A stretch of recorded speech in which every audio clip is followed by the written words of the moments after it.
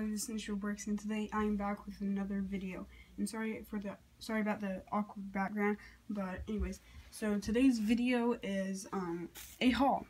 And this is the first store haul I've done, but anyways, let's start off. This is I got these from Walmart. This was four dollars. This right here.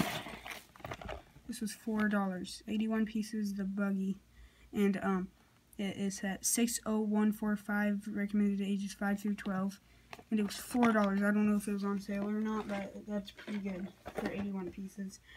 Alright, so, um, anyways, you guys can be expecting a review on that pretty soon.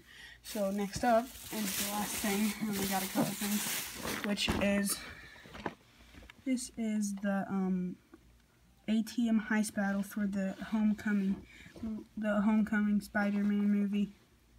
And, um, it has 185 pieces, it is set 6, 76082. It is recommended ages 6 through 12.